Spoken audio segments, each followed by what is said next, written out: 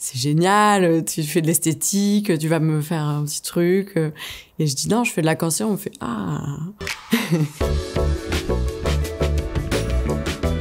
J'ai finalement moi-même été touchée par le cancer du sein du côté de chez ma sœur. Elle m'a dit c'est un peu comme si tu permettais de se réapproprier quelque chose que la maladie nous a pris. C'est vrai que l'émotion qu'elle a eue elle après l'injection m'a fait dire que c'était vraiment un bon sujet de travail améliorer la qualité de vie des patientes en réalisant une injection d'acide hyaluronique au niveau du visage. Un composant euh, naturel, quelque chose dont on a l'habitude en médecine esthétique. C'est vrai que ce serait introduire un produit de médecine esthétique en cancérologie, quelque chose qui n'a jamais été fait, ça c'est sûr. C'est pas modifier le visage, c'est vraiment, on va dire, le repulper, euh, redonner juste un côté un peu plus juvénile. Euh, les traitements, euh, que ce soit la chimiothérapie, l'hormonothérapie, etc., ils agissent sur le vieillissement du visage et l'injection d'acide hyaluronique pourrait les aider à retrouver confiance en elles, à se sentir plus, plus fortes, plus désirables au niveau des pommettes, un peu au niveau du cerne qui donne cet aspect fatigué, et un tout petit peu au niveau des sillons nasogéniens. Je dirais que c'est vraiment la phase de reconstruction, euh, essayer de euh, réapprivoiser son corps, restaurer un peu une harmonie. C'est pour passer un cap, pour se retrouver bien à un moment donné. Travailler sur le moral, ça aide à la guérison.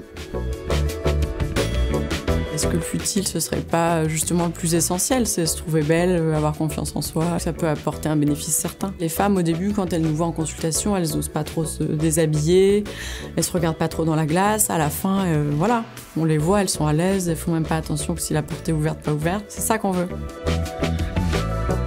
Une bataille. Une bataille en plusieurs étapes. Il y a l'annonce, euh, il faut ressortir de tout ça avec euh, mille informations. Tous les traitements s'enchaînent, les femmes elles sont ultra courageuses, elles font face à tout. Et puis finalement, il y a quand même cette troisième phase où c'est l'après et où ben, on voit moins son médecin parce que euh, les traitements sont finis et on est un peu face à soi. Souvent, j'arrive un peu après la bataille, mais je suis contente de participer au processus. Il faut euh, se palper euh, dans la douche, etc. Et on dit qu'il faut palper cadran par cadran. Vous voyez, il faut écraser un petit peu euh, le sein contre le grill costal de façon bilatérale. J'ai toujours voulu être chirurgienne plasticienne, mais bon, initialement c'était plutôt pour réparer les enfants brûlés au Vietnam. Mais donner du sérieux au projet. Pour proposer ce travail dans d'autres structures, euh, je pense que ça donne un poids euh, nécessaire d'avoir ce, prix. Merci, euh, merci beaucoup. Je pensais pas, en dehors en tout cas de Ruban Rose, je sais pas qui aurait pu financer cette étude.